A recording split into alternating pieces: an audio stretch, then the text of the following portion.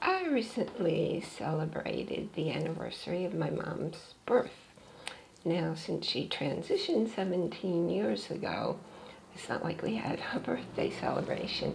But what I did was take the opportunity to communicate some information to my kids, things that they never knew about their grandma.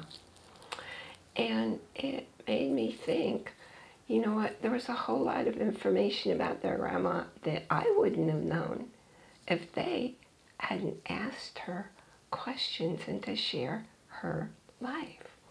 So I have a question for you. Do you really know your parents, whether they're still here or whether they've already gone to the next plane?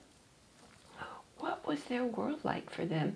Because you know, you are you because of who your parents were and how they treated you consciously or subconsciously, the patterns of behaviors, they get passed generation to generation to generation. And unless somebody has an awareness of the patterns, they will continue including those that aren't really favorable the ones that really don't make life optimal for anyone. So, what I would like to see you do, in fact, I'm going to tell you go ahead and talk to your parents. And depending on how old you are, you may or may not realize your parents are regular people.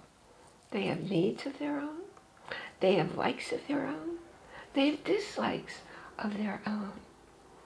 They're not just here in the world to support you and your family.